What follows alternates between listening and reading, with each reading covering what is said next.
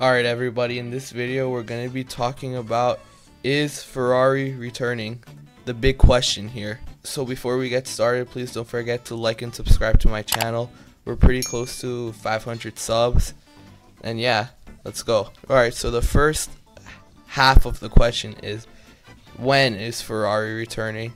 Now, uh, we don't have much news about that yet, but I do know that they are planning to add Ferraris in like the new near future, but they're not going to be the exact real models that they used to be.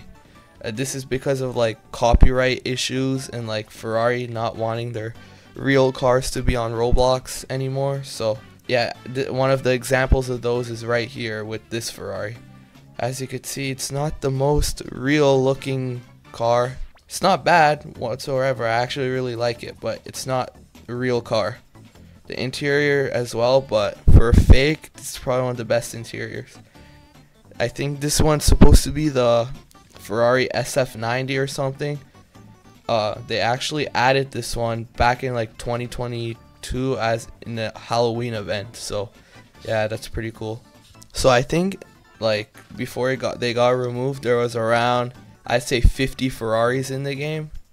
We might see like a bunch of those return, but like not in the real models that, that they used to be. It would look something around this that's pretty close to a real model, but like there's parts that you can definitely tell are fake. Like here's the front of the SF90 compared to the real one, the side,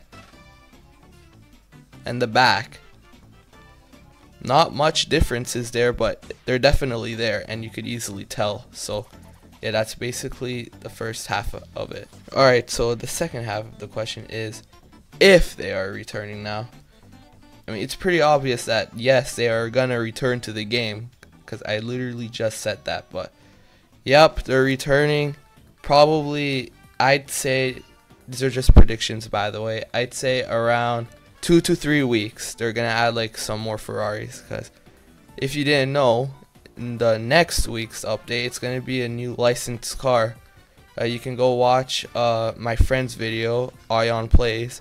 He actually talked about what the licensed car is gonna be in, like his predictions and stuff so yeah.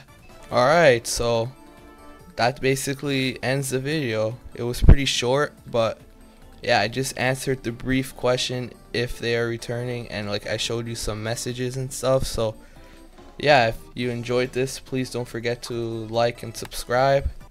Get me to 500 subscribers and yeah, subscribe to all these other people on screen as well. Get them to like whatever their goal is and yeah, have a nice day.